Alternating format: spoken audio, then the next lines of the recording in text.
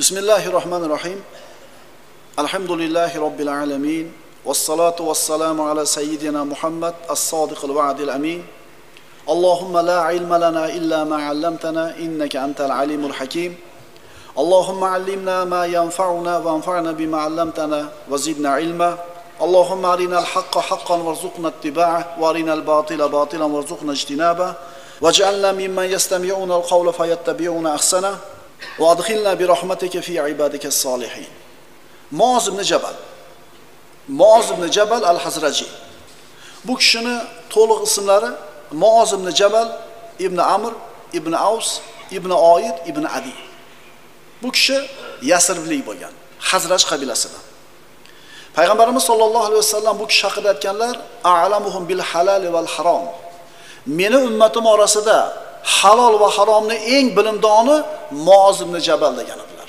rasululloh sollallohu alayhi vasallamni bu kishiga bergan bahosini ko'ring birodarlar. U kishi 18 ga kirganda ana shu ikkinchi aqaba bayatida kelib payg'ambarimizga bayat bergan 70 ta sahobadan bittasi Muoz ibn Jabal roziyallohu anhu edi. Yoshi 18 da edi. Muoz ibn Jabal payg'ambarimiz sollallohu alayhi vasallamning barcha mashhadlarida birga guvoh bo'lgan edi. Barcha janglarda birga qatnashgan edi. va xususan badrda qatnashgan kishilardan edi. Ahli badrlardan edi. Moz ibn jabal roziyallohu anhu o'zidan rivoyat qilinadi bu hadis. U kishi aytadilar ahaba biyadi rasulullohi sollallohu alayhi vasallam faqola inni la uhibbuka ya maoz bir kuni rasululloh meni qo'llarimdan ushlab aytdilar ey moz men seni yaxshi ko'raman. Kim aytyapti buni? Rasululloh yaxshi ko'raman deyaptilar. Rasulullohning muhabbati birodarlar ollohning muhabbati. Men seni yaxshi ko'raman ey demak seni kim yaxshi ko'radi? Musulmon odam intilgan eng oliy martaba shu emasmi? Alloh va rasulini muhabbatiga sazovor bo'lish. Rasululloh o'zi Muoz ibn Jabal tirikligida aytib turibdilarki men seni yaxshi ko'raman. Bu qanaqa sharaf birodarlar? Hamma sahobalarga ham aytavermagan rasululloh sollallohu alayhi vasallam bunday so'zni. Faqultu va ana uhibbuka ya Rasululloh. Men ham aytdim, ya Rasululloh, men ham yaxshi ko'raman sizni. Shunda Rasululloh menga aytdilar, fala tada an taqula fi kulli salatin robbi a'inni ala zikrika va shukrika va husni ibadatik. Emos har namoz ketidan Allohumma a'inni ala zikrika va shukrika va husni ibadatika deb aytishni, uni tark qilmaslikni senga vasiyat qilaman. Xos aytyapti payg'ambarimiz mana shu. Biz ham mana shu duoni o'qiymiz bilasizlar Allohumma a'inna ala zikrika va shukrika va husni ibadatik. Rasululloh muozim Jabalga xos aytyaptilar. Har namozni ketidan shu narsani tark qilmasligingni senga vasiyat qilaman. Birodarlar rasululloh sollallohu alayhi vasallamga bo'lgan muhabbat muozim jabalni qalbida aniq bor edi.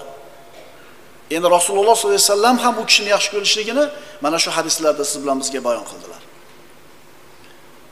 Bugungi darsimiz mozimni jabal roziyallohu anhu haqida bo'ladi. Mozimni jabal. Qarangda bu kishi rasulullohga iymon keltirib din yo'lida xizmat qilib umrini ollohni roziligiga sarflab qo'ygani uchun qiyomatgacha ismi qoldi tarixda. U kishining shamoli haqida. Bir kishi aytadi hims masjidiga kirdim. Bir yigit oldida odamlar jamlanib o'tirishar edi sochlari jingalak ko'rinishi chiroyli go'yoki og'zidan dur gavharlar sochilayotgan edi. Albatta birodarlar bu mana shunday odamlarni qalbidan joy olayotganligi muozimni jabalni bu yigitni. Odamlar uni so'ziga mahliyo bo'lib o'tirganligi odamlarni qalbi unga nisbatan ochilib turganligi alloh taoloni qo'llashidan bo'ladi. Tayidun minalloh. Agar banda ixlosli bo'lsa muxlis bo'lsa gapirayotgan gapida qilayotgan ishidan payg'ambarimiz sollallohu alayhi vasallam va din buyruqlarini bajarayotgan bo'lsa yolg'iz Allohning roziligini ko'zlayotgan bo'lsa Alloh bu odamga nisbatan odamlarning qalbida yo'lni ochib qo'yadi. Shart xolis bo'ling dinda hukmlarda amalda turgan bo'ling Allohning roziligini maqsad qilgan bo'ling. Qachon talash tortishib qolsa bu odamlar boyagi yigitga murojaat qilishadi hali yigit juda chiroyli qilib javobni beradi. Men so'radim kim bu kishi? Muoz ibn Jabal deb javob berishdi. Demak hikmat. Olim ilmli odam. Shayx oqsoqoldir garchi yoshi kichik bo'lsa ham. Johil ilmsiz. Yoshdir garchi yoshi ulug' bo'lsa ham. Shuning uchun payg'ambarimiz sollallohu alayhi vasallam 17 yoshlik usomat ibn zaydni ilmli bo'lgani uchun shu maqomga shu martabaga loyiq bo'lganligi uchun kibor sahobalar turganda ham ustiga amir qilib tayinlab qo'ygan. Demak ilm insonni manzilati martabasini ko'taradi. Muozni jabal bu ummatni eng bilimli kishilardan bo'lgan. Bu ulug' sahobaning sifatlaridan dunyodan zohidligi. Zohidlik degani dunyodan behojatlik degani molika doriy aytadi umar ibn hattob roziyallohu anhu to'rt yuz dinorni bir xaltachaga soldi. Xizmatchisiga berdida buni abu ubaydani oldiga olib bor. Berib ayt hojatlariga ishlatsin endi turib yonida. Nima qilar ekan? Ko'rib kel. Xizmatchi yigit bordi abu ubaydani oldiga salom deb berdi va aytdi. Xalifa aytdi mana buni o'zingizni hojatlaringizga ishlatar ekansiz. Abu ubayda boyagi xaltadagi pulni oldida olloh mukofotlasin xalifani rahmat qilsin dedi. Man lam yashkurin nasa lam yashkurillah. Odamlarga shukur keltira olmagan Allohga ham shukr keltira olmaydi Odamlarning yaxshiligini bilib ularga rahmat deya olmagan Allohning inomiga ham shukr keltira olmaydi odamlar bor alloh taolo bir xayriyatni beradi unga. Birovni sabab qilib qo'yadi. Haligi odam aytadiki Alloh berdi menga hech kim buni hech kimga daxli yo'q buni deydi. To'g'ri Alloh berdi lekin shu odamni sabab qildi uni ham qadrini fazlini bilib qo'ygan. Ko'rganda mendadoshlik bildirib qo'ygan Alloh rozi bo'lsin deb qo'y. Mana abu bayda shu hadyaga loyiq odam. Ammo xalifa bersa xalifadan olloh rozi bo'lsin deyapti. Demak odamlarga shukur keltira olmagan odam ollohga ham shukur keltira olmaydi. Abu bayda boyagi dinorlarni oldida xizmatchisini chaqirib turib mana buni olib falon falon falonchilarga olib tarqatib kel dedi hech narsa qolmadi. Oldi tarqatib yubordi. Boyagi xalifani xizmatchisi bu narsadan bu narsani ko'rgandan keyin xalifani oldiga qaytib borib aytdi bo'lgan ishni. Xalifa yana bir xolta pul tayyorlab qo'ygan edi. Buni olib borib muozimni jabalga berdi. Qarab tur nima qiladi? Xizmatchi bu molni olib muozimni jabal uyiga bordi. Berdi va aytdi. Xalifa aytdi buni o'zingizni hojatingizga ishlatar ekansiz. Shu yerda o'zida muozim jabal xizmatchisini chaqirdida taqsimlashni boshladi. Taqsimlab bo'lib falonchini hovlisiga po'kinchini hovlisiga deb aytayotganida ayoli chiqib qoldi. Chiqib turib ey dedi biz ham miskinmiz bizga ham qoldiring dedi. Shu paytda ikki dinor oshib qolgan edi xaltalardan. Shu ikki dinorni oldida taqsim qilayotgan puldan ikki dinor oshib qolgan edi. Shu ikki dinorni o'zini ayoliga berdi. E'tibor bering miskinmiz deyapti. Ya'ni zakot bermaydigan odam bu. O'zi haq birinchi haqdor o'zi edi. Lekin dunyodan behojatligini ko'ringki qalbiga dunyo kirmaganligini ayoliga ikki dinorini berdi. Xalifa xizmatchisi kelib muozimni jabaldan ko'rganini aytganidan keyin Allohga hamd aytdi. Hamda aytdiki albatta ular bir birlariga o'xshagan birodardirlar dedi. Bir ikkinchisiga haqiqatdan birodar bo'lishiga loyiq insonlar edi. Xudojo'yligi adolat. u kishini adolatiga bitta misol ikkita xotini bor edi adolatni qanday qoyim qiladi bilasizlar e, xotinni ikkita yoki uchta qilishligini bitta sharti adolatni qoyim qilishlik xotinlar o'rtasida astag'firullah فإن خفتم ألا تعدلوا فواحدة أو ما ملكت أيمانكم ذلك أدنى ألا تعودوا endi agar ular orasida ayollar orasida adolat qila olmaslikdan qo'rqsangiz bir ayolga uylaning yoki qo'l ostingizdagi cho'ri bilan kifoyalaning mana shu jabru zulmga o'tib ketmasligingizga yaqinroqdir. Bitta xotinini navbati bo'lgan kunda nariga xotinini uyiga borib qolsa suv ham ichmas edi shu yerda. Chunki bugungi kun nariga xotinni uyi suvni o'shani uyda ichishim kerak dedi. Ha nima bo'ladi suv ichib qo'ysa? Lekin ularni adolatga bo'lgan qarashi mana shunday bo'lgan. Shuning uchun birodarlar palapartish qing'ir qiyshiq qilib o'qilgan ming rakat namozdan ko'ra taqvo bilan parhezgarlik bilan o'qigan ikki rakat namoz afzal. Qaytaraman.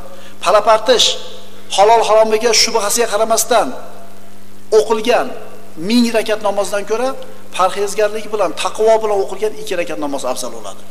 Mana masjidlarga kelyapmiz namoz o'qigani. Qur'on o'qiyapmiz ro'za tutyapmiz sadaqa qilyapmiz. Taqvo bormi ko'chada yurish turishimizda yeyishimizda gapirishimizda ichishimizda. Unaqa shubhaga aralashib turib ming rakat namoz o'qigandan ko'ra shubhadan uzoq bo'lib pokiza bo'lib turib ikki rakat namoz o'qigan afzal bo'ladi. Mana shu narsa esimizdan chiqmasin.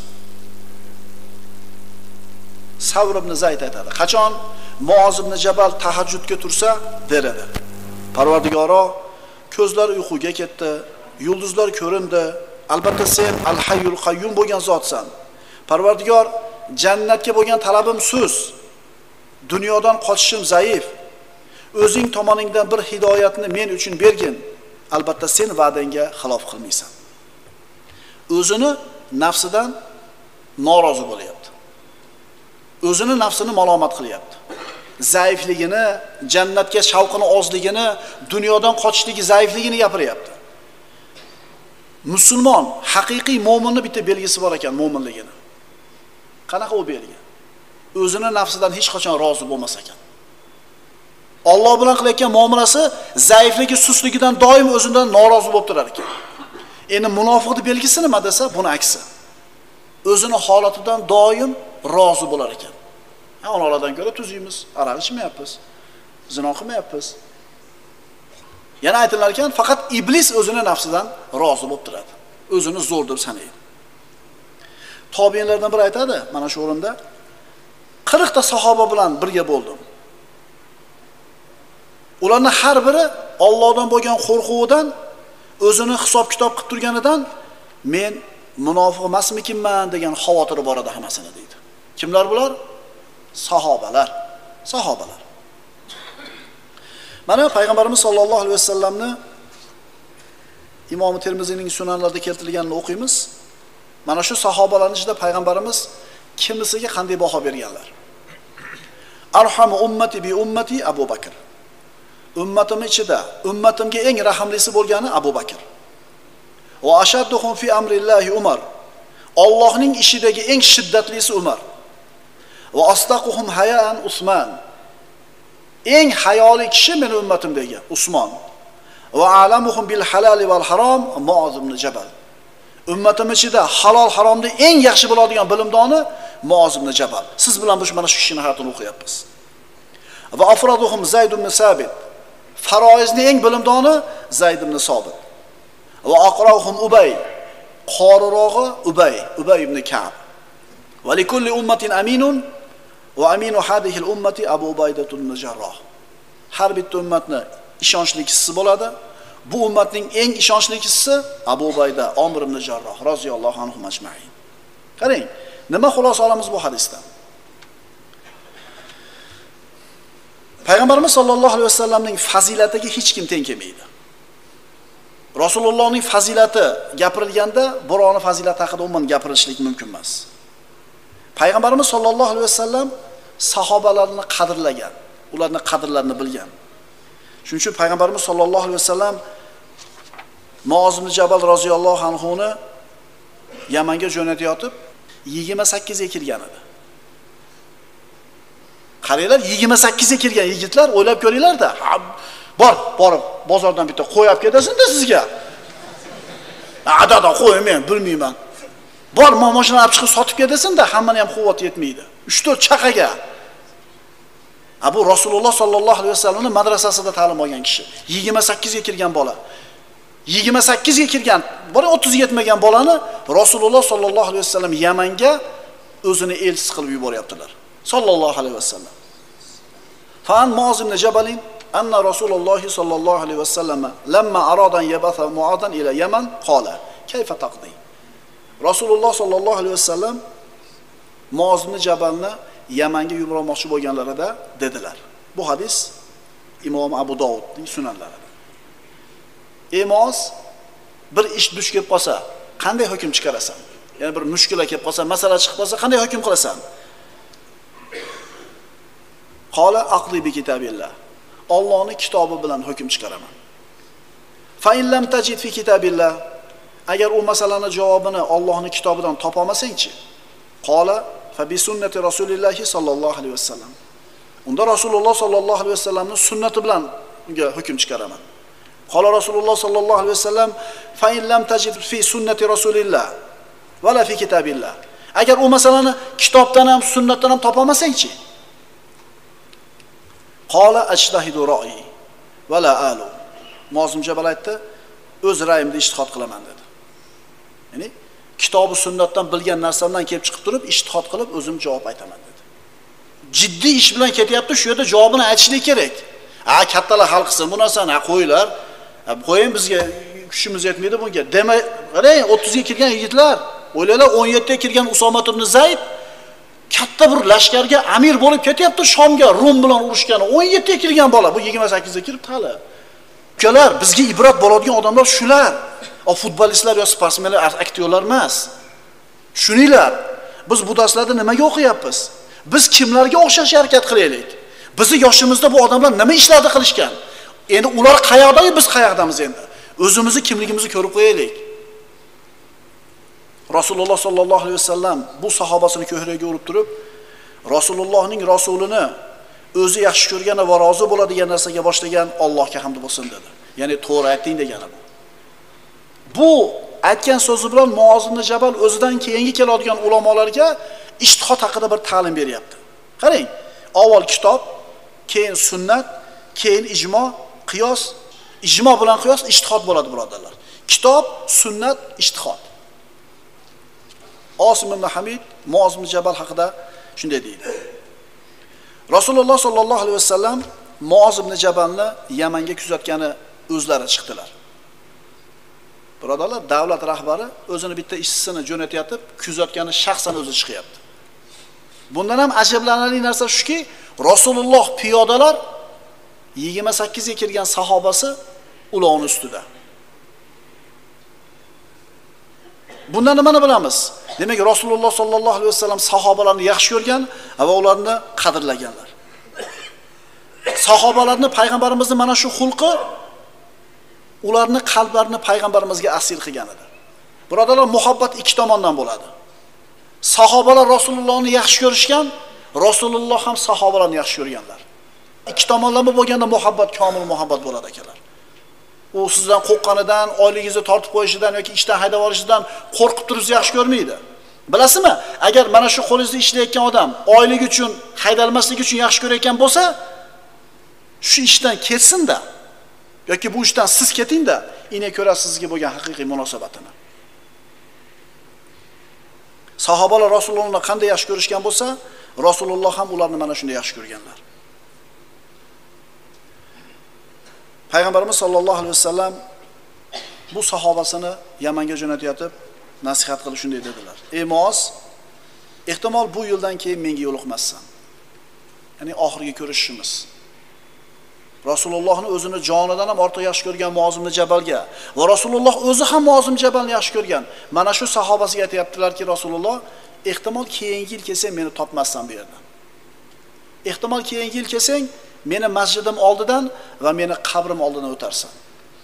Muozim jabal rasulullohni oxirgi marta ko'rayotganligini anglab yig'ladi. Chunki yaxshi ko'rgan payg'ambarini oxirgi marta ko'ryapti. Yo rasululloh qolavering yoningizda jo'natmay qo'yavering sizni oxirgi marta ko'rayotgan yo'q. Rasulullohni yaxshi ko'radi. Ammo rasulullohni buyrug'ini bajarishlikni bundan muqaddam deb biladi. Rasululloh sollallohu alayhi vasallam o'zi yaxshi ko'rgan sahobasini jo'natyapti. Yoniga olib qolishlikdan ko'ra. Nima uchun? Yamanliklarni ollohni diniga da'vat qilishlik uchun. Bu ish hamma narsadan muqaddam. Shuning uchun ukalar akalar din ishini birinchi o'ringa qo'ygan odam ikki dunyoda yutuqqa erishadi. Din uchun qilinadigan bir xizmat bor. Pulingiz bilanmi mehnatingiz bilanmi vaqtingiz bilanmi? O'zingizni ishingizni dunyoviy manfaatingizni muqaddam qo'yib turib vaqtim yo'q deysiz. Men qilolmayman buni deysiz. Bu sahobani qarang rasulullohdan ajralishlikka ham rozi. Faqat dinni ishi oldiga yursa bo'ldi. Bizdan ham bir so'ralsada bir ollohni dini uchun biror bir ishingdan biror huzur halovatingdan kechganmisan deb so'rasa javob bera olarmikinmiz ha bor shunaqa ishim deb.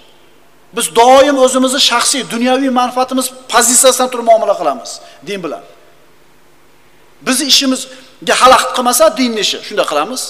Agar bizni shaxsiy manfaatimizni chekkaga surib qoladigan bo'lsa dinni ishini chekkaga surib qo'yaveramiz. Demak biz intilishimiz kerak bo'lgan eng oliy katta maqsad ollohni dinini oliy qilishlik odamlarga yetkazishlik ilmni halolga o'rgatishlik Alloh va rasulini odamlarga tanitishlik. Mozim Jabal roziyallohu anhu qalbida Rasulullohga bo'lgan muhabbat qattiq edi. Shavq, misli ko'rilmagan vafo bor edi. Shunday bo'lsa ham Allohning dinini tarqatishlikni Rasulullohning oldida qolishidan ko'ra afzal deb bildi.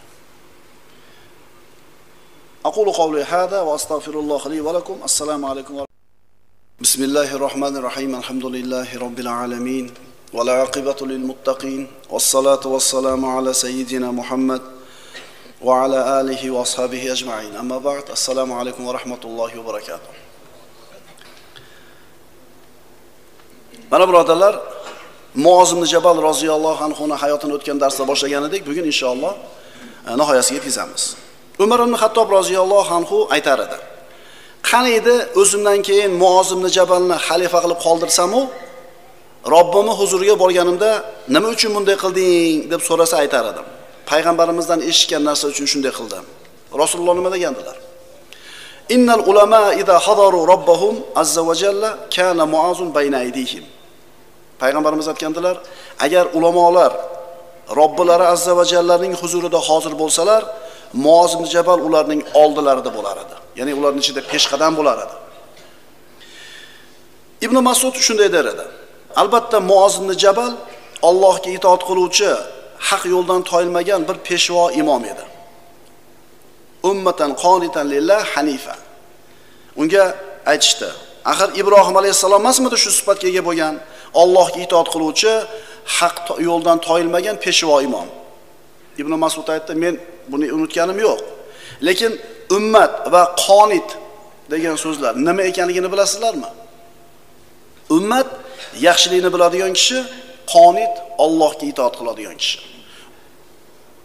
Bu ummatni ichida halol va haromni eng bilimdoni mozimni Jabalni Ibn Mas'ud mana shunday bir ta'rif bilan ta'rifladilar. mozimni Jabal roziyallohu anhu u kishi Qur'onni u kishidan o'rganishlikka loyiq zot bo'lgan. Payg'ambarimiz sollallohu alayhi vasallam aytganlar: "Istaqroul Qur'ana min arba'atin." Abdulloh ibn Amr ibn al-Os roziyallohu anhudan bu hadis muttafaqun alayh. Qur'onni to'rtta odamdan o'rganinglar dedilar Rasululloh sollallohu alayhi vasallam. Ya'ni mana shu to'rtta odam Qur'onni to'g'ri o'qib beradi, to'g'ri o'rgatadi. Kimlar edi ular? Fazakara ibn Mas'ud va Saliman mavla Huzayfata va Ubay ibn Ka'b va Muaz ibn Jabal roziyallohu ta'ala anhum ajma'in. Rasululloh sollallohu alayhi vasallam ibn Mas'udni, Huzayfaning mavlosi Solimni, Ubay ibn Ka'bni va Muaz ibn Jabalni zikr qildilar. Demak, ummatning ichidagi eng qori sahobalardan ekanligiga bu dalil bo'ladi. Shahr ibn Havshabdan Rasulullohning sahobalari to'planib gaplanib gaplashib o'tirishadigan bo'lsa, agar ularning orasida Muoz ibn Jabal turgan bo'lsa, haybatlanib qarab qo'yishar edi. Ya'ni yosh bo'lishiga qaramasdan Muoz ibn Jabal sahobalar u kishidan haybatlanishar edi. Bu ulug' bu ulug' imomning mavizalaridan. Muoz ibn Jabal aytar edi: sizlardan keyin fitnalar bo'ladi. Unda moli davlat ko'payadi. Unda qur'on ochiladi. Hatto uni mo'min ham munofiq ham kichkina ham katta ham qizil ham qora ham o'qiydi. Shu paytda gapiruvchi aytadi nima uchun men odamlarga qur'on o'qib berishim kerak? O'qib berganim bilan odamlar menga ergashmayapti ularga qur'ondan boshqa narsani gapirsam ergashadi deb o'ylayman deydi. Keyin paydo qilingan narsalardan ehtiyot bo'linglar. Ya'ni dindagi bid'atlardan. Albatta bid'at zalolatdir. U kishi yana aytar edi: "Hakimning adashishdan ogoh bo'linglar." Hakim, ilmli kishini adashishdan ogoh bo'linglar. Shayton aytadi: "Menga hakimning bitta adashib aytgan so'zi kifoya qiladi." Olim, hakim odam bitta adashib turib fatvo aytsa, noto'g'ri so'zni bir marta adashib aytadigan bo'lsa, ummat halokatga uchrashi xavfi bor. Chunki ana shu odam olim edi to'g'ri aytdi deb odamlar ergashadi katta zarar olib kelishi mumkin bo'ladi. Mana shu hakim olim odamni adashishlikdan ehtiyot bo'lishiga bitta misolimiz. Abu hanifa rahmatullohi alayh imomi azam ko'chada ketayotib chuqurni yonida turgan bir yosh bolaga ko'zi tushdida ey bola ehtiyot bo'lgin yiqilib tushib ketmagin dedi. U bola nima deb javob berdi? Ey imom siz unga tushib ketishdan ehtiyot bo'ling. Chunki agar men yiqilsam yolg'iz o'zim yiqilaman agar siz yiqilasangiz agar siz qulasangiz siz bilan butun olam qulaydi Mozim Jabal mana shu haqiqatga ishora qilib, olim odamlarni, ilmli, hakim odamlarni adashlikdan, xato qilishlikdan ogohlantiryapti. Birodalar, payg'ambarimiz sollallohu alayhi vasallam aytganlar, la tandur ala man qola, tandur ala ma qola. Kim gapirayotganiga qaramanglar. Kim gapirayotganiga qarama, nima deb gapirayotganiga qara. Chunki munofiq ham to'g'ri gapni gapirayotgan bo'lishi mumkin. endi olim odam hakim odam adashib xato gapirayotgan bo'lishi ham mumkin shuning uchun kim gapirayotganiga qaramaymiz nima deb gapirayotganiga e'tibor beramiz ali ibn abi tolib aytadi shuning uchun nahnu narifur rijala bil haqq la nariful haqqo bir rijal biz kishilarni haq orqali taniymiz. Haqni kishilarga qarab tanimaymiz qayerdan bilamiz ehtimol ilmli odam ham adashib noto'g'ri gapirayotgandir. Solih odam bilmasdan xato yo'l qo'yayotgandir. Odamlarga qarab turib haqiqatni o'lchamaymiz balki haqiqat bilan odamlarni o'lchaymiz. Mozimcha jabal aytar edi ana shu fitnalar sodir bo'lgan paytda u shunday bir so'zki shu fitna. Uni sizlar inkor qilasizlar. U shunday kalimaki u fitratga aqlga naqlga voqelikka xilof bo'ladi. Uni sizlar o'zlaringizning sog'lom aql va toza fitratingiz bilan inkor qilasizlar.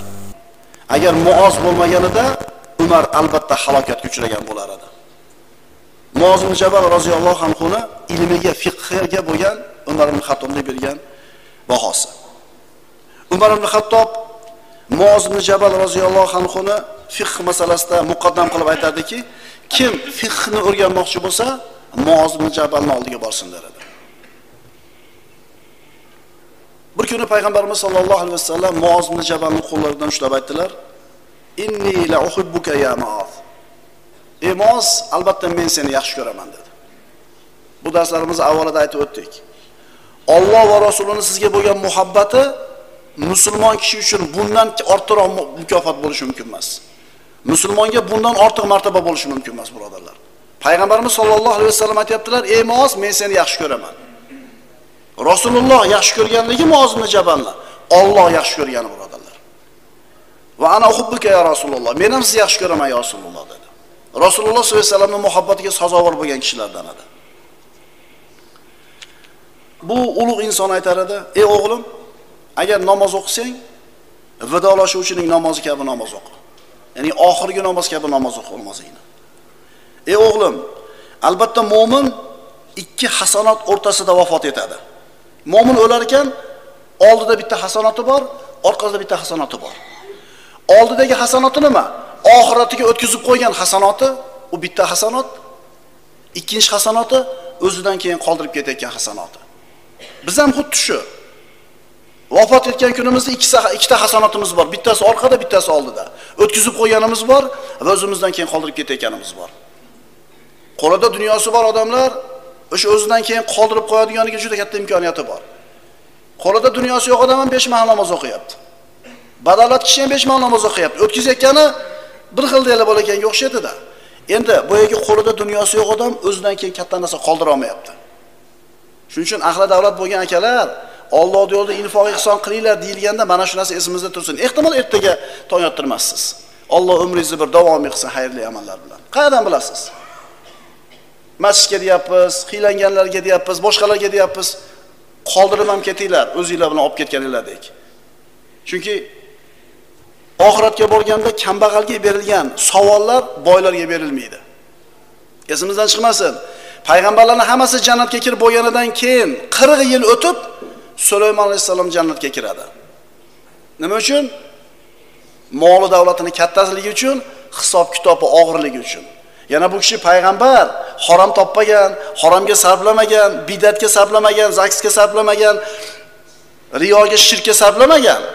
Shunda 40 yil o'tar ekan. U qiyomatda bir kuni 50 ming yil deyilgan oyatlarda. Shuning uchun qo'lida davlati bor akalar bu imtihon sizlarga. Xuddi davlati yo'qlarda pul yo'qligi imtihon bo'lgani kabi.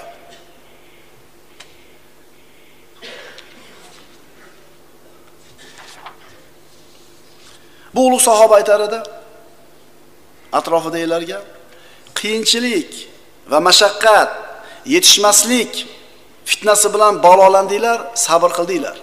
Endi kengchilik fitnasi bilan balolanasizlar yo'qchilikda sabr qildinglar mehnat mashaqqatga endi dunyo oqib keladi bu ham bitta sinov bitta fitna bo'ladi. Men sizlarni ustingizda qattiq qo'rqadigan narsa bu ayollarning fitnasi. Muozimni javal roziyallohu anhu faqatgina olim zohid obid inson emas edi. Payg'ambarimiz sollallohu alayhi vasallam sahobalarni hayotini o'rganar ekanmiz bitta narsaga guvoh bo'lamiz. Ular kunduzlari ro'zador tunlari bedor rohib bo'lib turib jang maydonida kuchli mujohid bo'lgan ular. Bularni qarasangiz mana hozir bu kishini diplomatiyasini ko'ramiz. Bu kishi musulmon qo'shinini vakili bo'lib borgan paytda gapirgan gaplarni ko'ramiz. Bu kishi birodarlar qirq yoshga yetmasdan o'tib ketgan. O'ttiz o'ttiz ikki yoshida o'sha paytdagi eng qudratli vizantiya imperiyasini armiyasida turganida sakson ming kishilik qo'shin yigirma yetti ming kishilik musulmon qo'shin nomidan keladida shunaqa gapiradi qarab turib o'ttiz yashar bola shunaqa bo'ladimi deb olasiz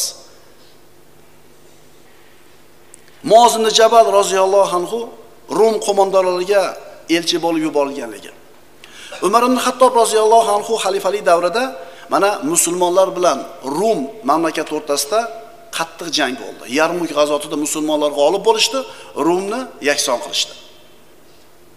Ana shu hal qiluvchi jang arafasida bisan va fahl mintaqasida musulmon qo'shini rum qo'shini bilan to'qnashdi.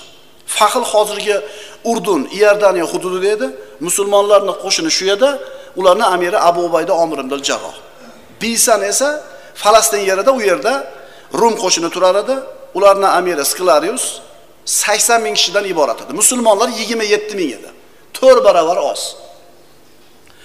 Rumliklar musulmonlarni qo'shiniga maktub yuborib tahdid qilishdi. Birontasini qoldirmasdan yo'q qilib yuborishmoqchi. Musulmonlarni javobi ham shunga yarasha bo'ldi.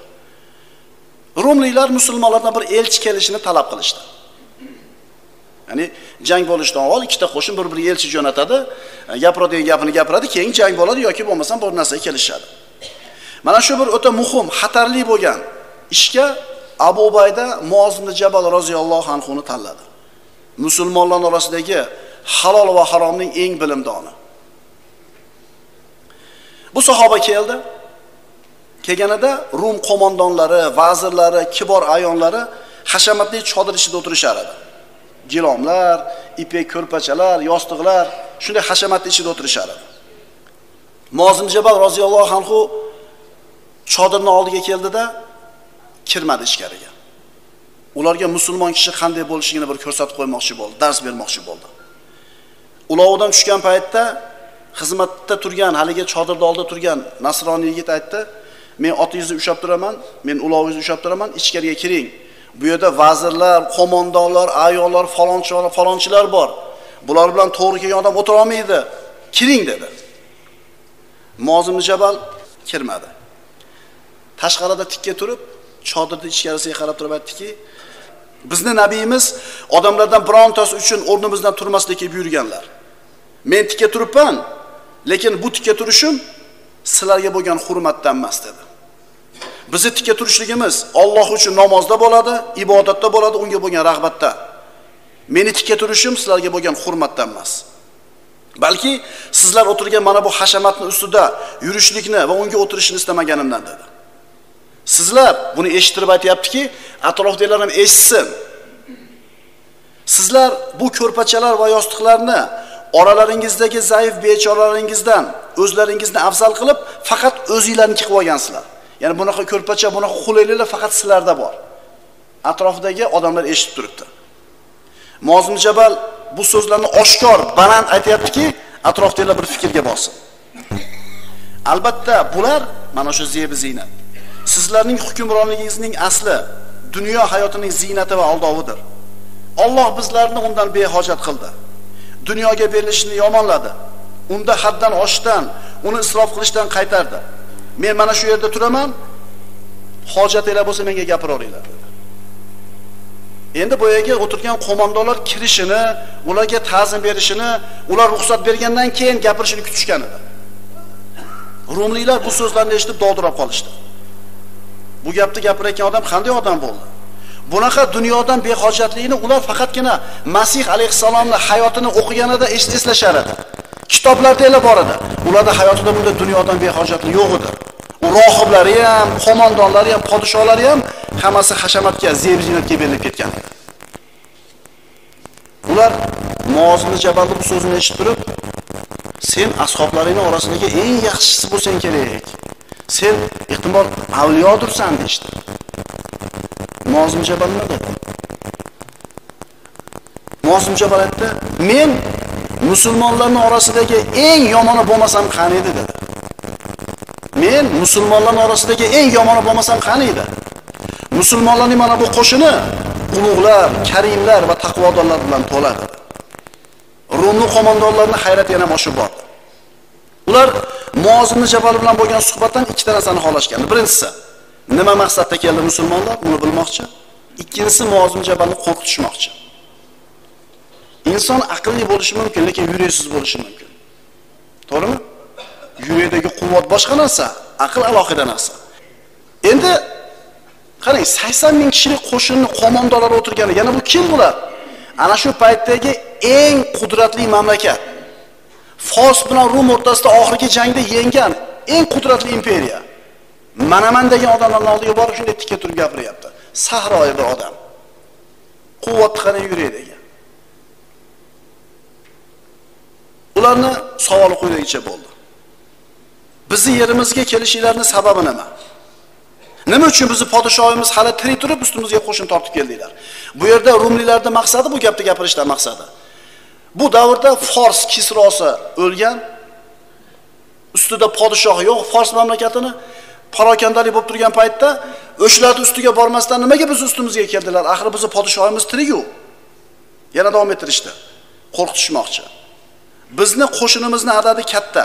Xuddi osmondagi yulduzlarni soni kabi yerdagi toshlarni soni kabi katta dedi. Yana aytishdi. Bizning kitobimizga iymon keltirgansizlar injilga ollohdan kelganligiga bizni nabiyimizga iymon keltirgansizlar. Nimaga shunday bo'lsa ham ustimizga qo'shin tortib keldinglar? Muozim jabalni javobi. Avvalo biz sizlarni yagona Alloh azza va jallaga va Muhammad alayhissalomga iymon keltirishga chaqirishga keldik. Birinchi narsa. Namozni o'qishga, bizning qiblamizga yuzlanishingizga, nabiyimizning sunnatiga ergashishingizga, salbni, kresni sindirishingizga, aroq ichmasligingizga, to'ng'izni o'ldirishingizga chaqiramiz. Sizlar bizdansiz, biz sizdanmiz. Sizlar bizning dinimizda bizga birodarsizlar. Ya'ni sizlar o'zingizlarda kitobinglardagi haqiqatni havoyi nafsinglarni ko'yiga kirib o'zgartirib yubordinglar olloh uchun tark qilasizlar bu narsalarni. Agar bunga rozi bo'lmasanglar jizya berasizlar. Agar bu ikki narsadan bosh tortsanglar bundan boshqa biron narsani qabul qilmaymiz. Bas ollohni ismi bilan chiqinglar qo'shninglar bilan. Olloh siz bilan bizni o'rtamizdagi narsani hal qilgunicha sizlar bilan jang qilamiz. Islomda qabul qilinglar yo jizya beringlar. Agar shu ikkovini bermasanglar urushamiz. To'rtinchi yo'l yo'q. Musulmonlar yigirma yetti ming rum sakson ming. Endi mozim jabal ularni aytgan har bitta so'zini tahlil qilib beryapti qarang. Birinchi so'zi nima edi? Bizni podshoyimiz tirik bo'lib turib qanday biz ustimizga qo'rqmasdan keldinglar? Mozim jabal aytdi. Endi podshohimiz tirik degan so'zga kelsak ana shu paytda xiraql hozirgi kundagi 15 ta davlatni qo'l ostiga birlashtirgan edi. Ya'ni o'sha paytdagi rum saltanatini agar hozirgi davlatlarda qaraydigan bo'lsangiz 15 ta davlatni qo'l ostiga birlashtirgan edi. Endi podshoyimiz tirik degan gapinglarga kelsak bizni podshohimiz Alloh azza va jalla dedi. Bizni amirimiz podshohimiz emas o'zimizga o'xshagan bitta odam. Mana endi muozim jabal musulmon amiri qanaqa bo'lishligini bularga ko'rsatib qo'yyapti. Ya'ni podshoh vazirlar qo'mondonlar ayonlar o'tiribdimi? Bizni boshlig'imiz qanaqa odam eshitib qo'yinglar. Agar amir bizni oramizda Allohning kitobi va payg'ambarning sunnati bilan ish yuritsa, o'rnida qoldiramiz. Agar ustimizda boshqa narsa bilan ish tutsa, uni olib tashlaymiz. agar o'g'irlik qilsa uni qo'lini kesamiz. Boshliqda. Agar zino qilsa biz uni toshbo'ron qilamiz. Sharifga ham zaifga ham Allohning shariatini tatbiq qiladi. Mana shu Allohning shariati u bilan dunyoni ustidan hukm qilinadi. U bilan islomiy ummat boshqa ummatlarni boshqaradi. Agar u bizdan bir kishini so'ysa so'kilgan kishi amirni so'kadi. Agar amir jarohat yetkazsa undan qasos olishlikka imkon beradi. Hamma musulmonlar qatori bir kishi. O'zini bizdan hijoblab olmaydi bizga mutakabbirlik qilmaydi. Bu rumni ayollarni oldiga kirishligi uchun o'chirga turish kerak zapis qilish kerak vaqtini poylash kerak kayfiyatini kutish kerak. Bizni amirimiz eshigini yopolmaydi hech qachon. Alloh o'lja qilib bergan narsalarda o'zini boshqalardan afzal qilib olmaydi. U hamma qatori oddiy bir musulmon. Zohid obid bo'lgan mozim jabal aytayotgan so'zlarni haqligini rumliklar biladi. Chunki shu paytgacha bo'lgan mayda chuda janglarda musulmonlar doim yengib kelishayotgan edi. Mozim jabal davom ettirdi. Endi qo'shinimiz adadi katta degan so'zinglarga kelsak osmondagi yulduzlardek yerdagi toshli donalarchalik ko'p degan so'zinglarga kelsak biz musulmonlar hech qachon qo'shinni adadiga suyangan emasmiz. Dushmanimiz ustidan bo'ladigan g'alabada askarlarga ishonmaymiz. Kuch quvvatga emas Alloh azza va jallaga tavakkul qilamiz. Robbimizga ishonamiz. Qancha qancha ozchilik bo'lgan toifalarni Alloh aziz qilib yordam berdi katta toifalarni ular yengdi. Ularga izzat ikrom ko'rsatdi. Uning izni bilan ochlik bo'lgan kishilar ko'p toifalarni yenggan o'rnida so'ziga yarasha so'z bilan javob beryapti. Mana sahobalar qanaqa bo'lgan? O'rnida reshat qilgani aqli ham yetyapti yuragini quvvati ham yetyapti tilini fasohati ham yetyapti. Mana bizga ibrat kim? Mana bizga ibrat bo'lgan odamlar kimlar? Mozimni jabal davom etdi. Endi sizlarni bizning kitobimizga va nabiyimizga iymon keltirib turib qanday biz ustimizga qo'shin bilan keldinglar qanday qilib biz bilan urushlikni halol sanaysizlar degan so'zinglarga kelsak biz sizlarning nabiyingizga iymon keltiramiz. Va uni Iso alayhissalomni ollohni bandalaridan biri ekaniga Allohning rasullaridan biri ekaniga guvohlik beramiz. Uni Allohning huzuridagi misoli odamning misoli kabidir. Odam alayhissalom alloh taolo tuproqdan yaratib bo'l dedi bo'ldi. Iso alayhissalom otasiz dunyoga kelganligini Allohning o'g'li deb gapirishlariga hujjat qilasizlarmi? Ya'ni alloh taolo uchun hech narsa emas. Biz uni isoni Alloh demaymiz. Ikkiligini ikkinchisi uchligini uchinchisi ham demaymiz. Allohning xotini bor bolasi bor demaymiz. Allohdan boshqa iloh bor deb aytmaymiz. Allohdan o'zga biron iloh yo'q. Sizlar aytayotgan narsadan Alloh taolo pok va ulug'dir sizlar ey rumliklar Iso alayhissalom haqida ulkan gunoh bo'lgan so'zni aytasizlar. Agar sizlar Iso haqida biz aytgan so'zni aytganlaringda va sizlarning nabiyingizga biz iymon keltirganimizdek bizning nabiyimizga sizlarning kitobinglarda aytilgandek iymon keltirganinglarda edi. Payg'ambarimiz sizlarning nabiyingiz haqida keltirgan narsaga biz iymon keltirganimizdek sizlar ham muhammad alayhissalomga iymon keltirganinglarda biz sizlardan sizlar bizdan bo'lardinglar sizlarni do'stlar edik sizlarni dushmanlaringlardan himoya qilar edik. Endi sizlarga yordam bermasligimiz sababi sizlar aqidalarni buzdinglar xilof yo'l tutdinglar. Dininglarni o'zgartirib yubordinglar iso alayhissalom haqida ulug' gunohni so'zladinglar va iso alayhissalom aytmagan so'zlarni aytdinglar. Va unga ergashdinglar. Kitoblaringizga o'zgartirish kiritdinglar. Biz sizlarga aqidani sog'lom aqidani olib keldik. Sizlar kitoblaringizda aytilganidek bizning nabiyimizga iymon keltiringlar. Sizlarning nabiyingizga biz iymon keltirganimizdek. Mozim jabol bu so'zni quvvat bilan aytyapti. Ikkilanmasdan aytyapti. Ishonch bilan aytyapti. Rumliklar mozim jabalni so'zini eshitib turib aytishdiki oramizda uzoqlashishlikdan boshqa narsani ko'rmayapmiz. Chunki sizlar musulmonlar. Ya'ni sen biz hech qachon qabul qilmaydigan narsalarni gapiryapsan. Endi senga taklifimiz bor. Shu taklifimizni qabul qil. Agar shu taklifni qabul qilsanglar omonda qolasizlar deyapti rumliklar. Aks holda sizlarni qirib yo'q qilib tashlaymiz. Birinchi taklifi sizlarga arabiston yarim oroliga ulashgan balqo va urdun yeridan ajratib beramiz. Birinchi tanazzul Urdun yerini yarmini berib olishga tayyor. Buni evaziga sizlar qo'shininglar bilan qaytib ketasizlar, qaytib biz bilan urushmaslikka va'da berasizlar. Qarang, Mozimni Jabalni aytgan so'zlarini ta'siri shuki, uslubkani ular qilyapti. Bo'lmasam 80 mingli armiya bo'lardi ekan. Mozimni Jabalni aytgan so'zlarining ta'siri. Ikkinchi taklif. Fors bilan borib urushinglar. Biz sizlarga ularni yengishlikka yordam beramiz. Ularni yengganlaringlardan keyin ularni yerlarini o'zingizlarga qo'shib olasizlar. Ikkita taklif. Urdun yerini beramiz, qaytib kelsanglar. Qaytib biz bilan urushmaymiz deb va'da bersanglar, Fors saltanatini yengishlikka yordam beramiz, o'zingizlarni yeringlarga qo'shib olasizlar. Bu pasol uchun, parlamentyor uchun, diplomat uchun juda ham katta yutuq. Tushunyapsizlarmi? 80 ming qo'shinni ro'parasida turgan 27 ming qo'shinni elchisi shunday undiryapti, qaranglar. Qo'rqmasdan borib shap-shap gapirdi, undirib keldi. любой diplomat uchun, любой pasol uchun, любой zamonda bu narsa katta sharaf bo'lgan. Shu narsani undirib keldim desa, mana shunday kirib kelsa bo'ladi. Mozim Jabal nima deb javob berdi?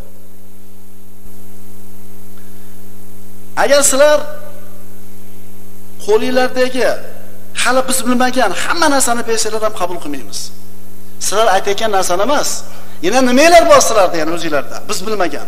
Hammasini bersanglar ham qabul qilmaymiz. Biz sizlardan faqatgina biz aytgan 3 ta narsadan bittasini qabul qilamiz. Islomda qabul qilinglar, jizya beringlar yoki biz bilan urushinglar. Rumliklar aytishdi, biz senga yaqinlashganimiz sari sen sen bizdan uzoqlashyapsan. Vallohi ertaga ustingga qo'shin bilan kelib, sizlarni mag'lub qilib tog'larga qochirib yuboramiz. Mozim Jabal aytdi, "Yo'q, tog'larga qochmaymiz" dedi. Yo sizlar bizni qirib tugatib yuborasizlar urushib, yoki biz sizlarni o'zingizlarni yerlaringizdan xor qilib haydab chiqaramiz dedi. Bu qanaqa quvvat bu? Yo sizlar yengasizlar, yo biz yengamiz. Yo sayyid bo'lamiz ustinglarda xo'jayin bo'lib, yo shahid bo'lamiz. Ikkala ikkala holatda ham biz g'olibmiz. Mozmi Jabal roziyallohu anhu mana shu bo'lgan munozarani bahsni natijasini olib Abu Bayda roziyallohu anhu oldiga qaytib keldi.